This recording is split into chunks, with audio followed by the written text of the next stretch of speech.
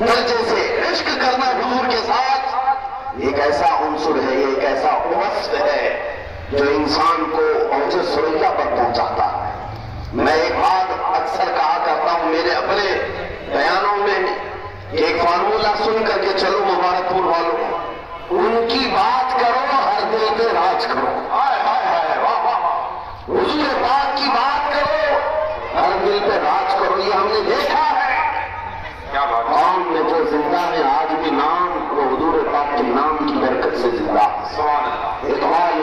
शायर मस्जिद में मुस्तफ़ा, हम सबकी इज़्ज़त आबरू मुस्तफ़ा के नाम से वाबस्ता है। हर चीज़ बड़ी दुनिया बातें मुस्तफ़ा।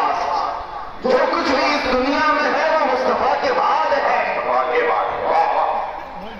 के करीम सल्लल्लाहु अलैहि वसल्लम के नामों की हिफाजत पर और उनके इश्क पर आगे बढ़कर चलते रहे, वो इतनी बड़ी ताकत के मालिक हो गए मैं आपको क्या बताऊँ आज दुनिया जिस चीज़ से खौफ ज़्यादा है, आज हम टूटे बिखरे हुए लोगों से दुनिया से डरती है।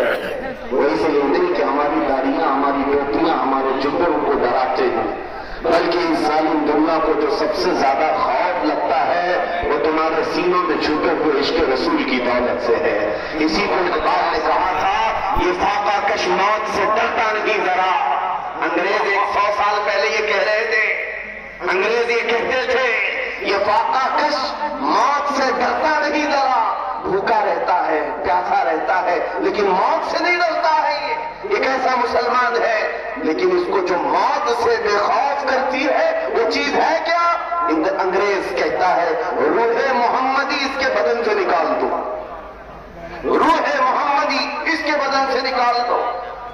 पूरी दुनिया की पावरफुल ताकतें भी ये जानती है कि रूह मोहम्मदी इश्क मोहम्मदी ये दौलत ऐसी है जो इंसान को बेखौफ करती है।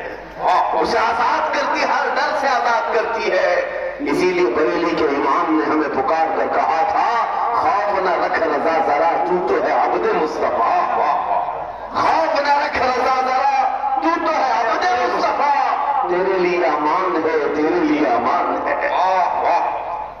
निगरान आज जो हालात चल रहे हैं, इस एतबार से एक डर का माहौल खौफ का माहौल, एक ऐसी सरासी हुई है, जिसको हम महसूस कर रहे हैं। लोग आज हर चौक पर हर गड्ढे पर ये गुफ्तगु करते हुए नज़र आ रहे हैं।